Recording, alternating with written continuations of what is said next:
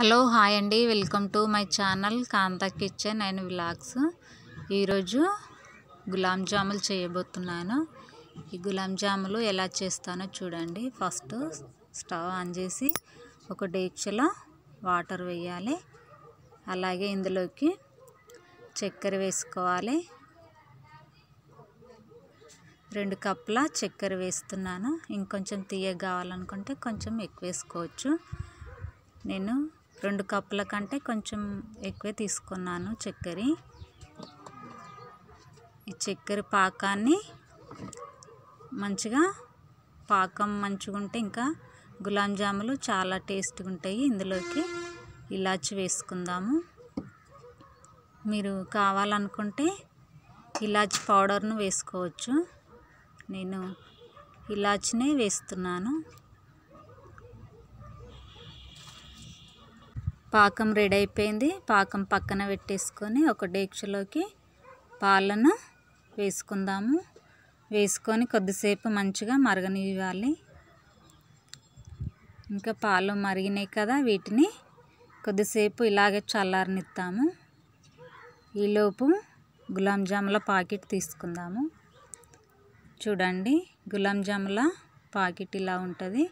ఇందులో ఈ పిండిని తీసుకొని మనము గులాబ్ జాములు చేసుకున్నట్టయితే చాలా టేస్ట్గా ఉంటుంది. ఇంకా తీపి కూడా చాలా బాగుంటుంది.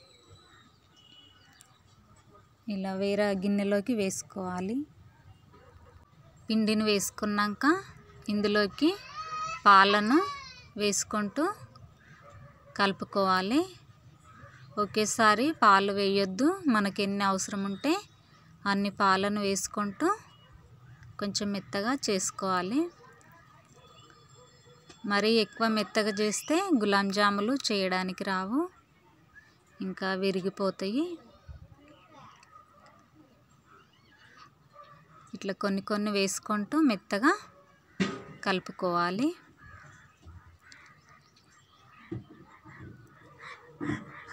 గులాబ్ జాములు ఎప్పుడు చేయని వారైనా ఇలా చేసుకోవచ్చు ఇంట్లోనే.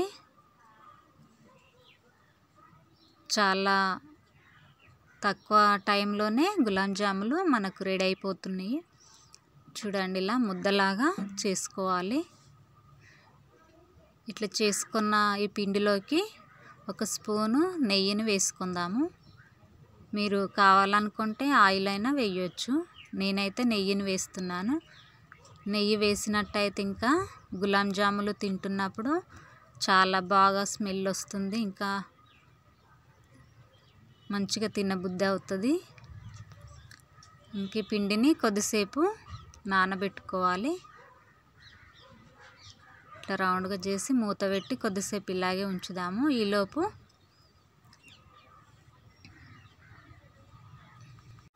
పాకం రెడీ అయిందేమో చూద్దాము.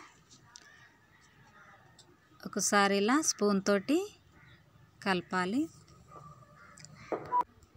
ఇంకా పాకం రెడీ అయిపోయింది. చూడండి. ఈ పాకము ఇలా ఉంటే చాలు. ఇంకా గులాబ్ జాములు సూపర్గా ఉంటాయి.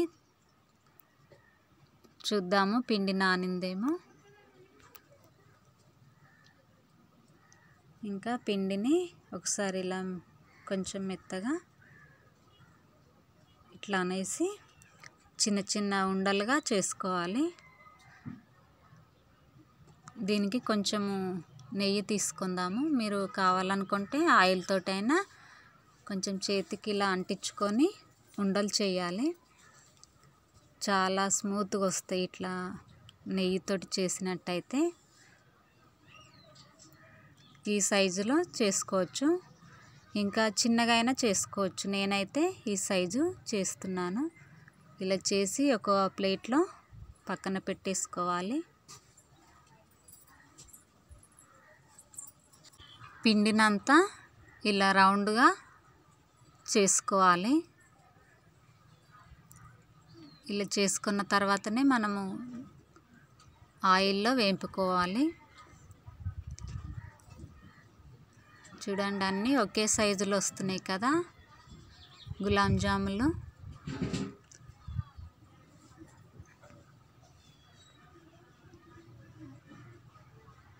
ఉండలు చేయడం అయిపోయింది కదా చూడండి.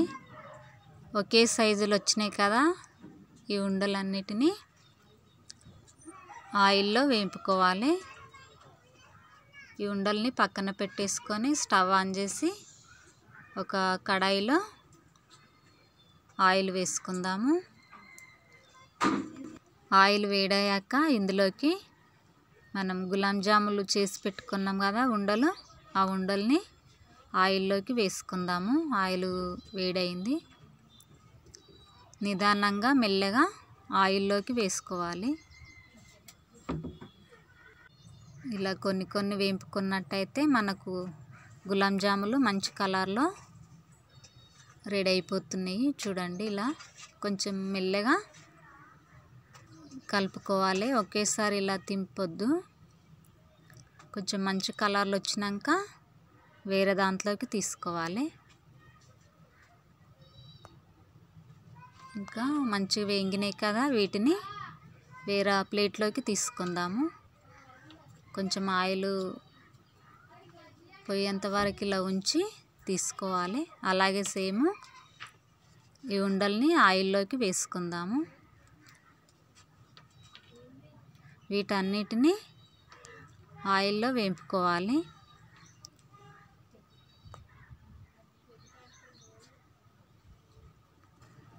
గులాబ్ జాములు చేయడము ఎక్కువ పెద్ద పని ఏమి ఉండదు ఇలా ఇంట్లోనే చేసుకోవచ్చు. ఎప్పుడు చెయ్యని వాళ్ళైనా ఇలా చేసుకోవచ్చు. ఒక్కసారి చూసారంటే ఎవరమైనా గులాబ్ జాములు చేయొచ్చు. ఇంకా గులాబ్ జాములు వేంపడం అయిపోయింది. వీటిని చక్కెర పాకంలోకి వేసుకుందాము.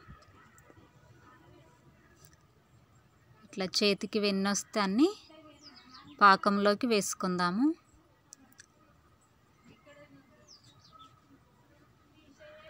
ఉండలని అన్నిటిని చక్కెర పాకంలోకి వేసుకుందాము. ఇలా వేసుకొని ఒక స్పూన్ తోటి కొంచెము ఇలా కలుపుకోవాలి. ఇలా కలుపుకున్నాక వెంటనే తింటే అంత టేస్ట్గా ఏమి ఉండవు కొద్దిసేపు ఆగాక ఇవి తిన్నారంటే చాలా తీయగా ఉంటాయి. కొద్దిసేపు ఇలా మూత పెట్టి ఉంచుదాము. చూద్దాము. చూడండి. ఈ ఉండలకు చక్కెర పాకం అనేది చాలా బాగా పాకంలోనే ఉన్నాయి కదా. ఒక సైడ్ నుంచి మెల్లగా తీసుకోవాలి. మా వీడియో కనుక మీకు నచ్చినట్టయితే లైక్ చేయండి సబ్స్క్రైబ్ చేయండి. అలాగే పక్కనున్న బెల్ ఐకాన్ని క్లిక్ చేయండి. కప్పులోకి వేసుకొని స్పూన్తో తిన్నట్టయితే ఇంకా చాలా బాగుంటాయి. ఈరోజు గులాబ్ జాములు చేసి చూపించాను కదండి. మరొక మంచి వీడియోతో మీ ముందుకు వస్తాను అప్పటి వరకు థ్యాంక్ యూ బాయ్ బాయ్